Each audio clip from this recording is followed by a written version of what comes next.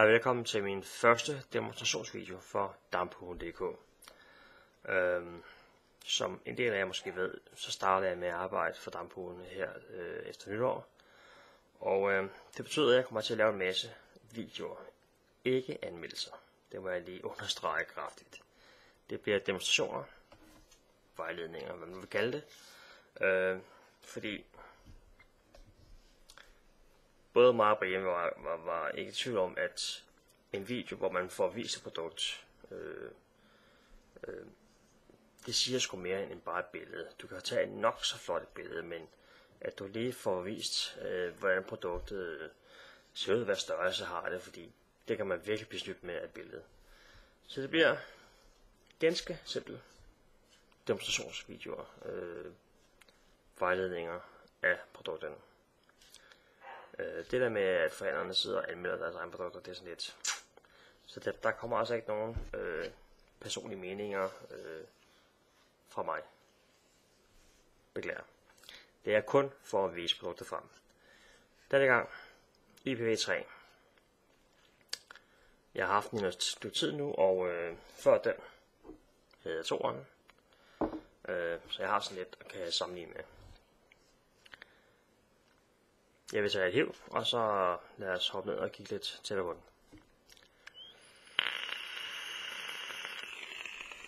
Når I får jeres øh, IPv3, så kommer den sådan her i en øh, rimelig stor kasse. Og øh, der står bagpå, hvad der skal være i osv. Øh, der står så her mini USB charger. Det passer altså ikke helt. Der er ikke nogen lader med den her. Nå, lad os få den åbnet. Ind i selve IPv3. En pose med en lille skruetrækker og ekstra skruer. Der er et garantikort. En lille certifikatkort. Og så er der en lille manual. Læs den lige igennem inden i brugermålet. Det er en god ting. Og så er der det her, som der på kassen står, at det skulle være en USB charger. Det er det altså ikke. Det er et USB-kabel, ja. Med mini-USB. Men øh, det er kun beregnet til, når man skal have opdateret firmwaren på sin IPv3. Det vil sige, det er kun beregnet til dataoverførsel. Og selve øh, USB-porten, der sidder her. Så det er altså ikke til at lade med. Der kommer ikke noget ladekabel med, desværre. det er, der er ellers lavet øh, stik til det, men øh, der er kun en vej. Det er at skrue låget af og skifte batterierne selv. Øhm,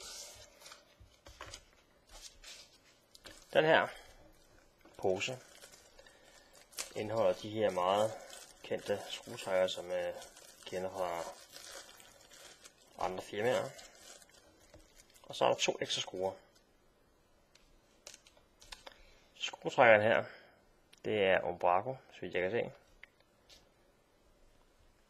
Svarende til der sidder i selve målet.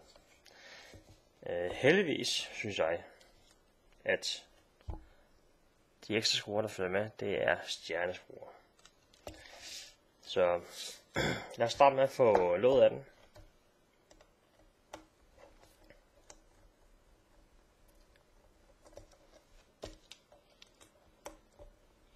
De er ikke så store, så det tager ikke alverdens tid. Lad os få noget af den.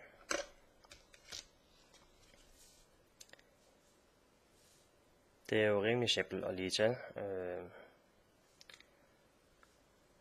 pænt lukket af. Ikke noget elektronik, der ligger og hænger. Så lad os få sat nogle batterier i. Jeg vil vælge at bruge de her VTC4. Og som altid, så er det minus mod fjederen slår her. Så ind her. træk ned. Minus mod fjederen. Så der. Så er de nemme lige at få fat i batterierne, når man skal have dem ud og skifte. Og så vil jeg altså vælge at bruge de her meget små stjernesprog.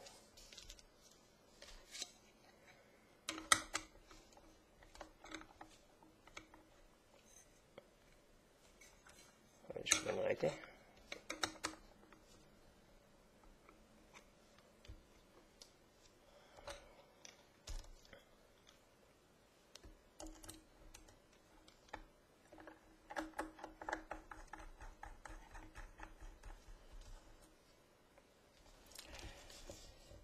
Det er jo et, et forholdsvis simpelt og lige til mod. Øh, ikke de store øh, spørgsmål lige på nær den her op. Øh, touch-sensoren, den er deaktiveret. Den virker ikke. Øh, hvorfor de har lavet den sidde på, det er, må guderne vide. Øh, men den virker altså ikke, også selvom man kan tænde og slukke den i menuen. Så den virker altså ikke. Øh, justerbar centerpen, fejlknap, rigtig god lille øh, klikbar, fem tryk, til at man får måttet. Der står System Off, det er lidt svært at se med, med, med kamera her. Kan I prøve at se.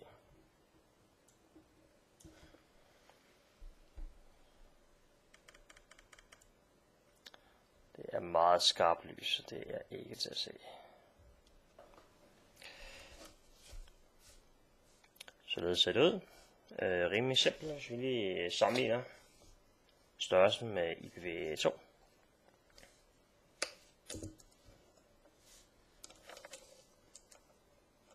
Smule højere. Smule bredere. Og en smule tykkere. fareknap. Justere op og ned her i watt og volt. Øhm.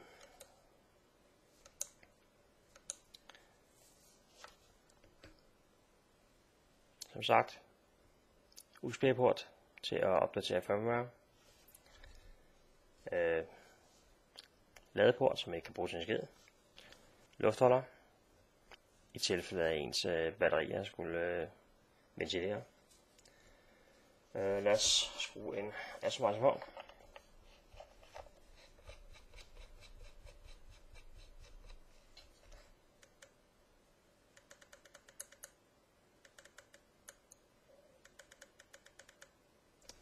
Så snart man øh, slukker for den, står der System Off.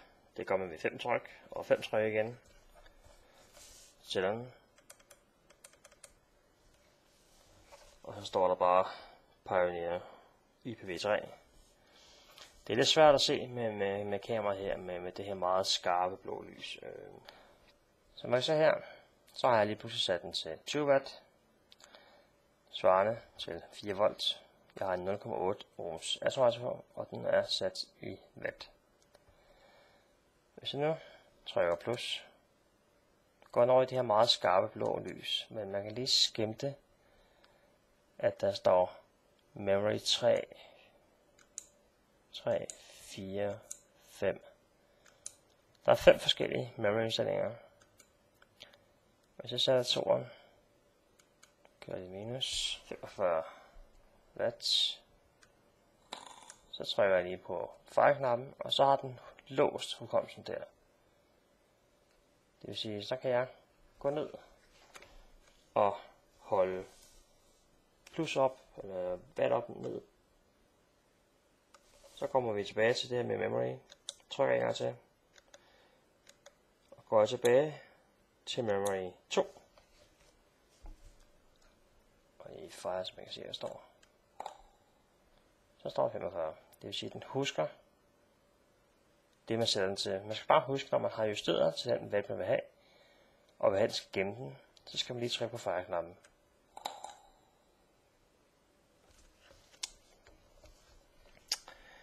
Øh, det er lidt svært for mig at vise øh, den her menusystem, fordi det er meget skarpt lys. Og med mit sølle webcam, øh, den kan ikke rigtig fange det. Øh, beklager. Men der er altså fem hukommelsesinstallinger, som man kan øh, justere, som man har lyst til. Øh, hvis man vil have den over i volt, øh, skal I se.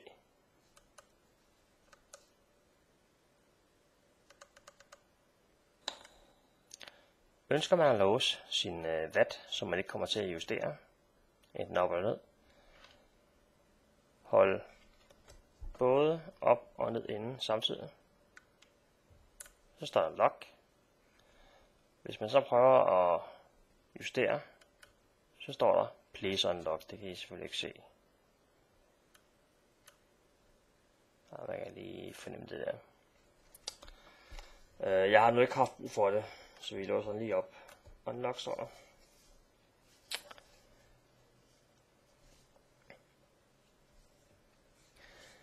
Knapperne. Dejligt sådan øh, hårde. Tactile switch. Øhm. Ja. Lad os øh, få kameraet op og dampe på den. Jeg håber, I fik noget ud af øh, nær billederne eller videoen. Øh, desværre så den her meget skarpe øh, display-skærm her. Øh, mit webcam, det kan simpelthen ikke opfange. Det, det er alt for skarpt. Det bliver udtværet. Beklager. Men jeg kan se, at de her fem indstillingsmuligheder, hvor man, øh, hvis man for eksempel sidder, og man har siddet justeret den, så skal man lige med fejlknappen. Derefter holder man plus, det kan man gøre minus, men plus inden, indtil der står M1, 2 og 3. Og så kan man klikke videre imellem de fem forskellige gemte VAT-indstillinger. Og det er jo super øh, brugbart, øh, hvis man øh, som mig bruger flere forskellige atomizer øh, på den. Jeg bruger Dripper, jeg bruger KFON, Exprimizer osv. osv. De har hver deres orm og kører bedst på forskellige watt.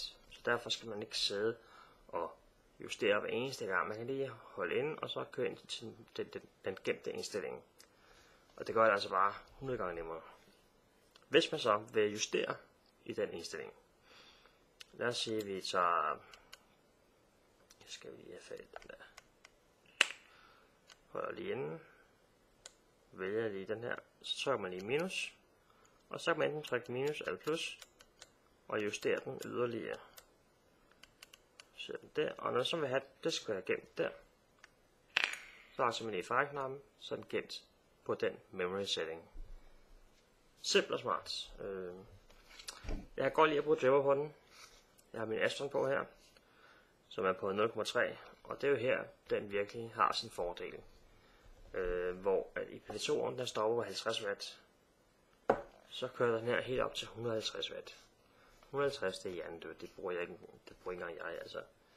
Øh, jeg kender ikke nogen, der sidder der damper 150 watt, øh, medmindre man har et, et setup, der, der er lavet til det.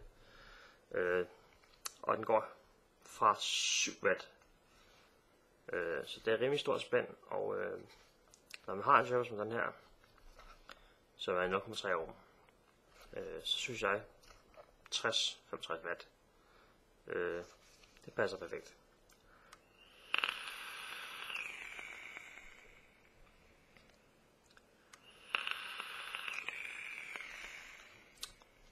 Og hvis man lige synes, det skulle lige, lige minus en gang, og så kan man sidde og trykke ind. Man kan også bare holde den inde.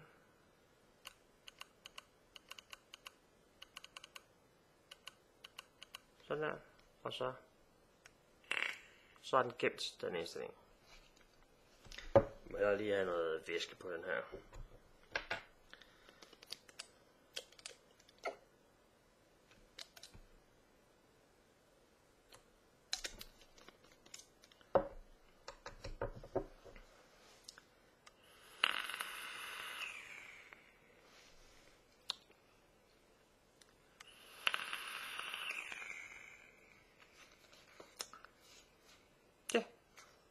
Der er ikke så meget at sige til det. Øh, generelt så synes jeg faktisk, det er rimelig simpelt lige til mod, øh, og den holder strømmen pænt godt, synes jeg. Øh, nu har jeg lige sat ny i. Jeg havde to batterier, som har kørt i tre dage uden problemer. Men det afhænger også af den watt, man kører på. For det er klart, tæsker man den af på 100 watt, øh, 0,2, så er det klart, så dræner man batterierne noget hurtigere. Men øh, IP3 fra dampo.dk. Vi ses snart igen. Hej.